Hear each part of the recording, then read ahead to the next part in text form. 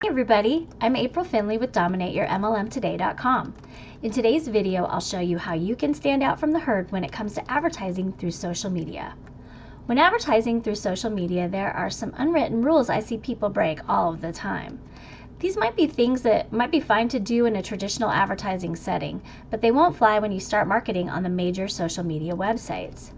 Here are a few tips to help you stand out from the crowd and bring potency and effectiveness to your social media advertising campaigns. Number one, be yourself and be engaging. It's tempting to hide behind the computer and create silly profiles to push your message out.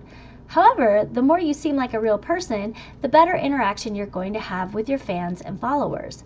You might be a quiet person in nature, but this is your chance to shine. Ask questions, find out what people need and how you can help them, then provide them your solution. Number two, be consistent with your actions. Create a daily operating routine and stick with it.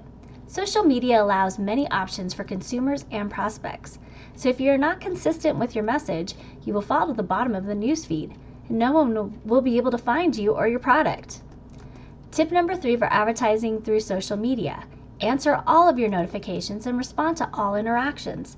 Even if it's just a thank you, People will respond to your comment to your content more often, and then you'll be well on your way to developing that relationship where your prospects know, like, and trust you.